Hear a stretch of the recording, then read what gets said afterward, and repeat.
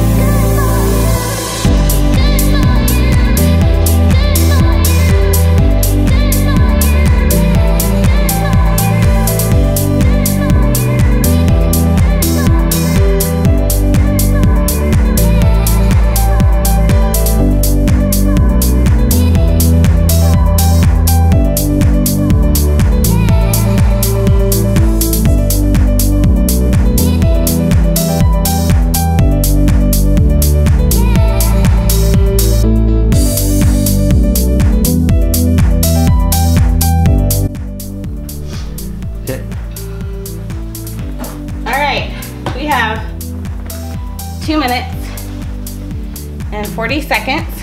I don't know if the sun's gonna be bad on that. So we have all of this to go to um, donate, but our car is getting fixed right now. So that was actually a lot of the reason why we decided to clean the garage today because we don't have the car in here. So we'll load that up once we get the car back. Um, can't see what's behind there, but we you did when we were filming. So we got all the swim stuff, um, repack it away in those buckets. The top one was breaking. Um, didn't do much up there, but we definitely like stored some of my husband's camping gear better. All of that is his camping, hiking, um, snow gear up there. And then we've got our um, cooler bags right there. And then we've got More vans. more, I know, my husband makes fun of the bins, but it's all organized. That is all of our swimwear, like you just saw us put away. Then we organized our food storage shelves a little bit better. I can do a little video about these if you want. Just got like pastas and drinks in there and then snacks and cereal. So we just kind of need to organize it. Sometimes when I bring it home from the store, I just kind of shove it in. And then just kind of organize this shelf a little bit better. We actually need to go through our long-term storage shelving unit right here. A lot of this has expired. We've had it for about, I don't know, 10 years or so. Need to kind of go through and expire some of it. The best thing is we found a box of Girl Scout cookies. I know, that's his have- reward. That's awesome. And then he didn't do too much up there with his drop down shelving unit, but he has more camping gear. See, he has camping gear like I have craft projects. So then our, I didn't do much with the top ones, but I had some spring stuff to put away in those ones and leftover Valentine stuff to put away. And then that's where I keep my recycle bags. I do donations on Saturday, picking them up in those. So then it makes it easier for the, oh, that's our, turn it off, in your pocket. Then the bikes are easy to put away with the kids. So that's it, our uh, car mat is right there, got spilled on. So that is it, folks. Everyone say goodbye to Jason. All right, so that's it, you guys. Thank you for joining us. I know it was a little unconventional to do the power hour in the garage, but I hope that inspired you to uh, do projects that you don't think you can get done in an hour. I know we can clean our kitchen and clean our living room and vacuum the floors and mop the floors. Now we know we can do that, but now I also know we can do this garage in one hour. Can you do it in one hour? So that is a challenge I want to give to you. Leave any questions you have in the comments below. Subscribe to my channel. We've got Power Hours craft projects now that I've got some more time. Um, I will get those back up on my channel as well. So join me again next week for Power Hours and keep watching. Thanks.